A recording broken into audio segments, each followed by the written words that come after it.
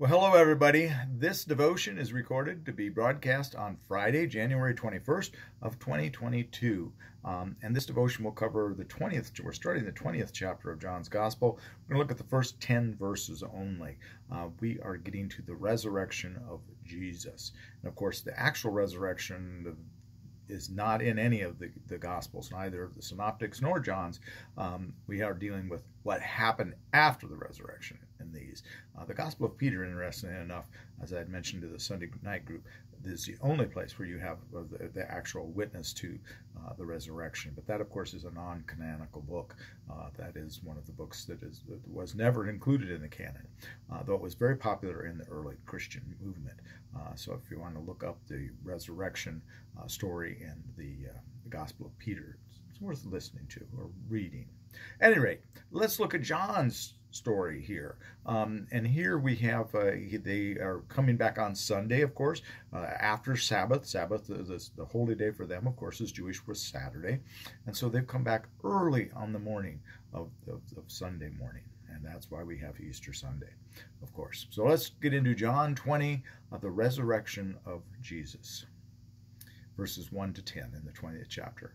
Early on the first day of the week, while it was still dark, Mary Magdalene came to the tomb and saw that the stone had been removed from the tomb. So she ran and went to Simon Peter and the other disciple, the one whom Jesus loved, and said to them, They have taken the Lord out of the tomb, and we do not know where they have laid him. Then Peter and the other disciple set out and went toward the tomb. The two were running together, but the other disciple outran Peter and reached the tomb first. He bent down to look in and saw the linen wrappings lying there but he did not go in. Then Simon Peter came following him and went into the tomb. He saw the linen wrappings lying there, and the cloth that had been on Jesus' head not lying with the linen wrappings, but rolled up in a place by itself. Then the other disciple who reached the tomb first also went in, and he saw and believed. But as of yet they did not understand the scripture, that he must rise from the dead. Then the disciples returned to their homes. Okay, and this one, uh, John's version, of course, of this Easter morning is different than the Synoptics. Uh, the Synoptics, of course, we still have Mary uh, Magdalene coming, but here it's just Mary by herself. Uh, in the other Synoptics, I believe all of them have Mary. Um, that Mary has at least one other person with her in all of the Synoptics, and of course, there the women then see this person um, in the tomb um, this this angel or a young man or what have you. Uh, we don't have that in John. They, they, and the women actually, Mary Magdalene doesn't actually go into the tomb before she goes and gets the disciples. In the others, they, they, they peer in and they see this, this person inside that gives them this message. Um, so there is some differences here. Um, and we don't want to necessarily focus on those differences, but they are there, just so you are aware when you're reading through it.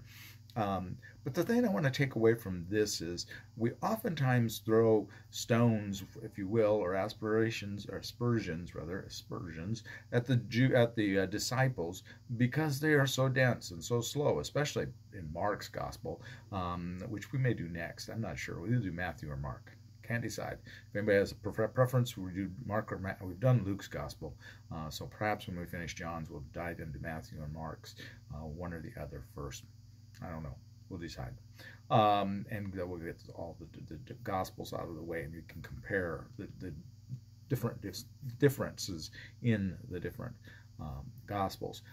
But here, um, we, we, we again we we look at them and say you guys don't get it because it says they still don't understand the scripture they must rise from the dead what don't you understand guys he was telling you he was going to rise from the dead how many times does he have to tell you this and you don't get it um, well, before we point too many fingers and shake our heads and wag our fingers at the disciples for just being so slow and not getting it, um, think about our own lives.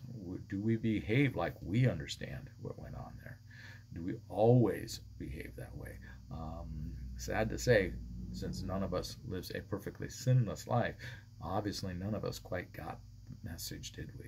We still don't understand the scripture, to be honest um, we don't understand. We behave often, too often, like we never read the story of the empty tomb. uh, we never read this Sunday morning scripture. So that's where I'm going to leave you to ponder uh, between now and Monday because this is a Friday video.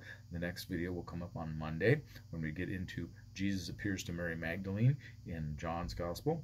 Um, but think about that. Do we act like we, we understand? Do we truly understand? If we truly understood, would we behave the way we do? Good question. Think about it.